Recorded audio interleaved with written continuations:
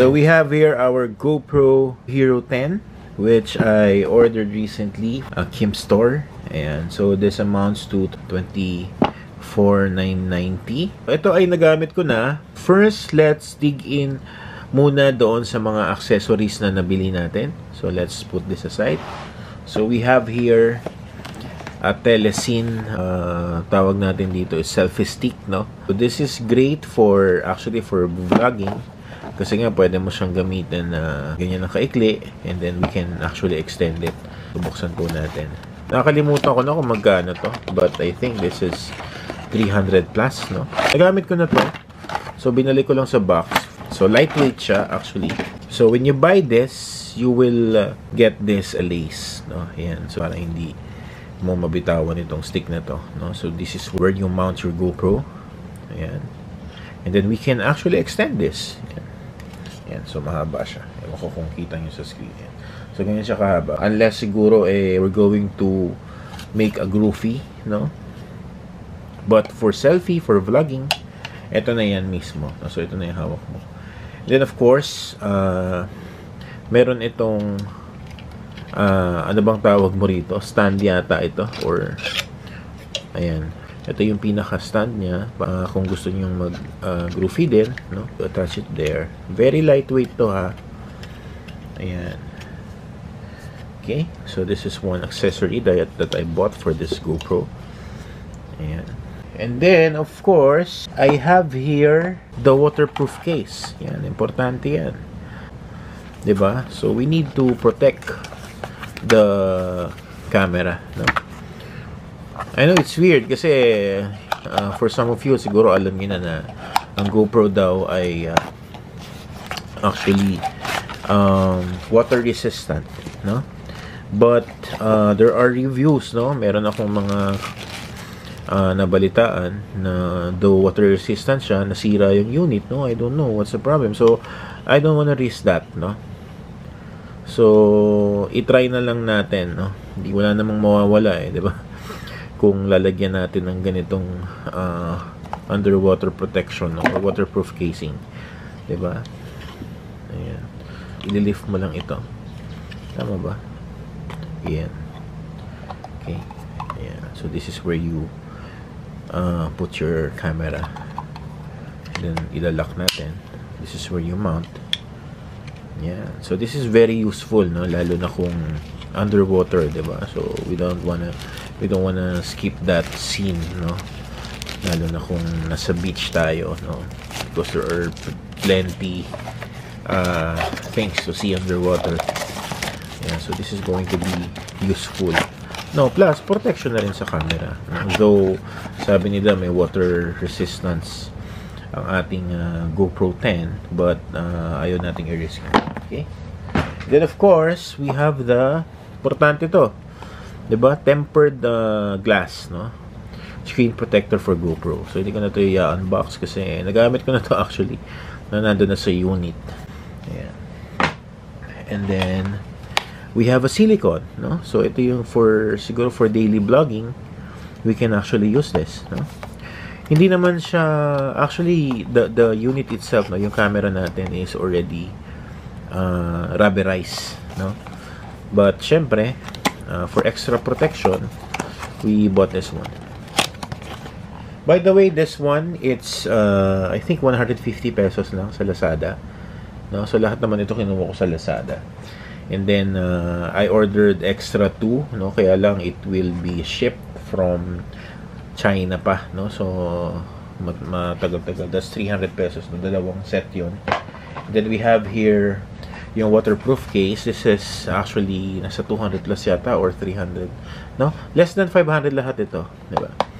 Ayan. So, no need for branded uh, GoPro product or GoPro accessories, no? Meron namang mga available na units, no? Na not really that pricey Ayan. And then this one, this is I think nasa 120 ba? O, oh, 120 pesos or 150 pesos no. So mura siya. So meron tayong available na blue and black uh, color. So I ordered the black one. Since ayoko ng blue. Pero maganda rin sana kung blue, no? ba? kitang-kita siya. So, ayan. So, meron tong lens cover. This is not really attached ha, when you purchase this.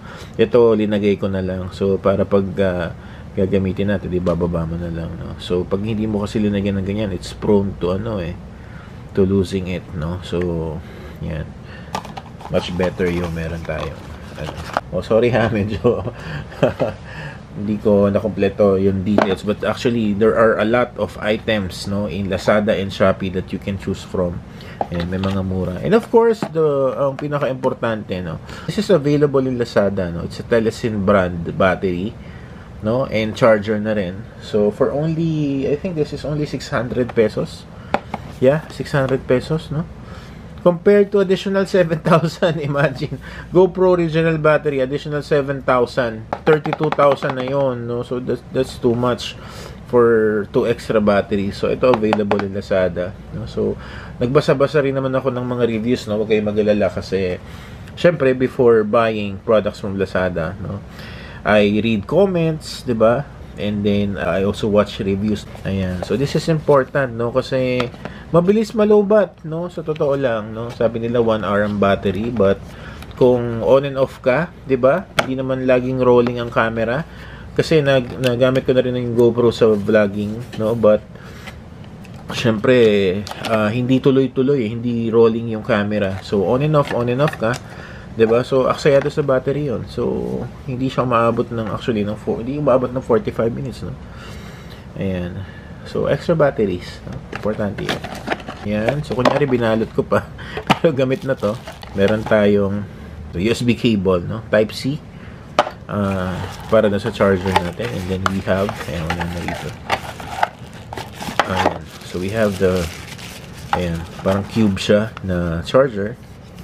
Diba? So, this is where you put the Type-C cable. Ayan. You connect the Type-C cable. And then, of course, the batteries. Ay, bakit isa lang to? Nandun yata sa unit.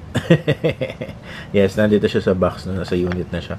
Ayan. So, when you buy this one, ayan, it will be two batteries will be included, no? A cable and this charging uh, cube, no? Ang cute niya. Ayan. Okay? Ayan. Meron pa tayo actually, meron pa akong nabili na car mount. Kaya lang ginagay ko na siya doon sa nasa sasakyan na siya. Ayan. So, not only that ha, meron pa tayo rito. Hindi ko alam ba't ko binili to. Ayan. So, we can use this. You can actually attach your phone here. Ayan. And then, uh, if you unscrew this, you can mount the GoPro. Ayan. So, this will be attached to your neck. Alright? Yan. So, this is useful, no? Lalo na kung halimbawa ang scene mo eh, ang scenario mo eh, nagluluto ka, or actually, no? Pwede rin sa ganitong uh, setup, no? Na when you are reviewing your uh, gadgets or what have you. Okay.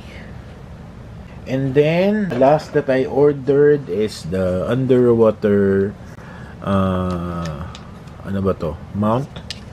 Ayan.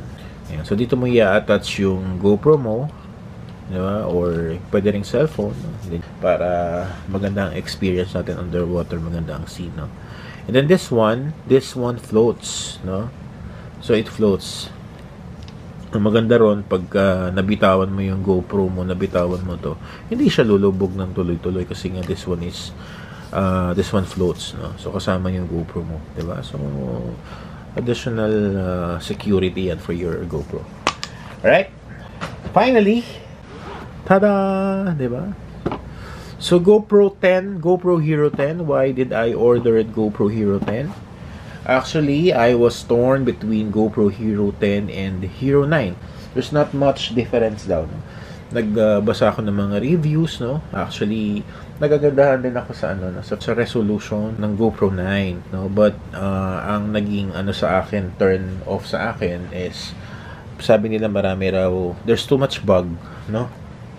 when you're using it, no? Nagfi-fail ang pag-capture ng mga video. So, syempre, in the middle of your uh, shoot, ayaw nating mangyari yon, di ba?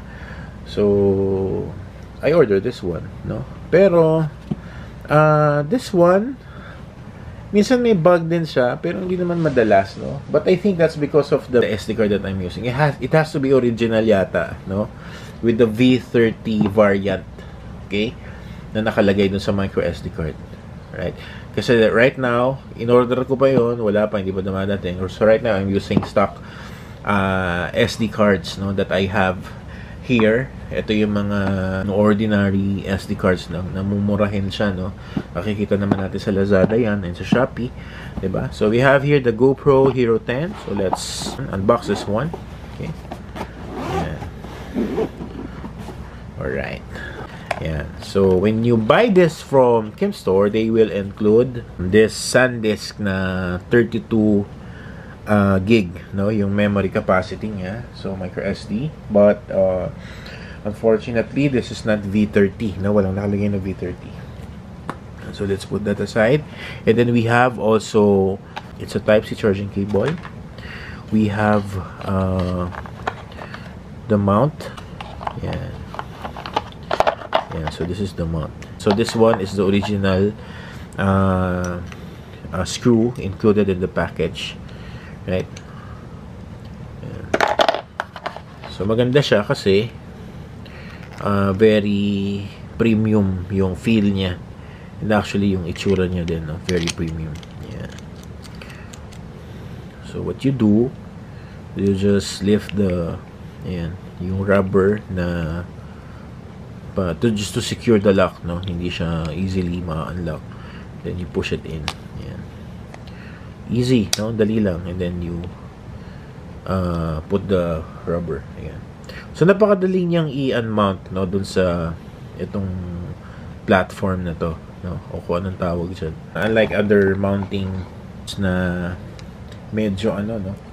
Mahirap siyang ito mahirap siyang i-unclip para matanggal but this one just remove the rubber. Ayan and then you pinch it. Dali lang oh. diba So, and then of course we have, uh, ayan, meron tayong mga paperworks dito. Ayan. Okay, balik lang natin. And uh, this one, hindi ko na naibalik, but etong uh, mismong GoPro natin, nakabalot siya ng ganyan. And of course, our product, no? The actual camera. Ayan. So, so ang ganda niya. 'di ba? So this is not actually this is not a full review ha of this GoPro Hero 10. So probably in our next vlogs I'll just include a footage no and a sample of the photos.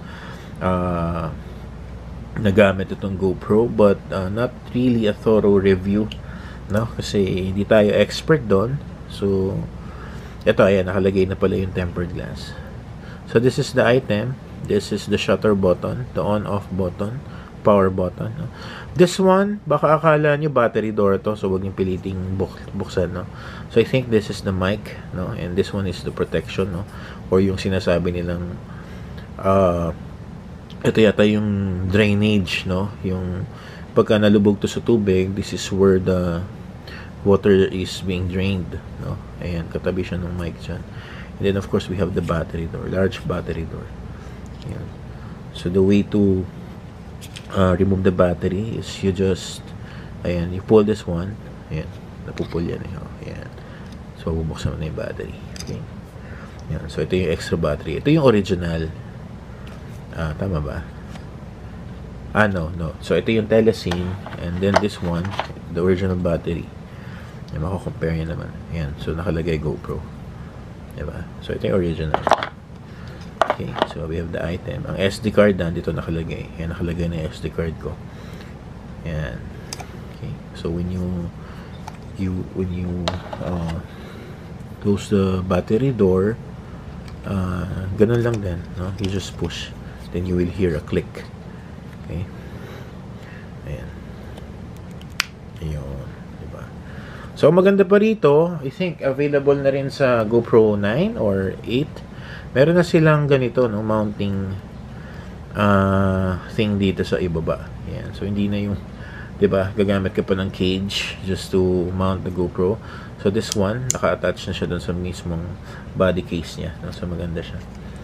Ayan. Okay. Yan. So, maganda siya talagang item. Very premium. And even uh, yung features niya, no, napakaganda. So, reason why I purchased this because uh, nagmo-moto vlog din naman ako. No? So, I'm gonna use it for sure. And then siguro malamang no, yung mga family outings namin, no, family gatherings, magagamit ko ito, no. Kasi rather than using I have a G7X Mark III, no. Medyo nabibigatan talaga ako, no. And actually awkward pag sa labas, no. Pag maraming tao binablog mo. But this one, uh, very compact siya, very uh, small, no actually bigger than other GoPros, other action cam, but uh, maliit pa din, 'di ba? Yan. So medyo hindi naman siya ganoon kabigat, pero mas mabigat of course yung camera ko na G7X. Yan. Ito, this one that I'm uh, using to shoot this video. G7X po yan. Alright? So that's it for our video today. And uh, I hope nakatulong ako in your buying decision to get a GoPro 10, Hero 10, di ba? pinag-iisipan ko noon if GoPro 9 kasi a GoPro 9 is amounting to only nasa 17 to 18,000 lang no? Very uh, cheaper no than this one. It's not really cheap no pero less expensive than this one 'di ba? And uh, ang maganda doon uh, same halos same quality no ng video and ano yun nga lang medyo na turn off ako dun sa bug down na sinasabi but I think, no, kasi ang mga napanood kong reviews about the GoPro 9, mga 2021 pa, and nare-resolve naman yan ng mga, of course, ng mga updates, no, uh, ng GoPro. Ayan, so, but, uh, might as well, gagastos ka na rin lang. So, sabi ko, sige, mag GoPro 10 na tayo para updated. Alright, so that's it for today, and I hope makatulong ako sa buying decisions nyo in getting a GoPro. Alright, bye! I got my head out the sunroof I'm blasting our favorite tunes I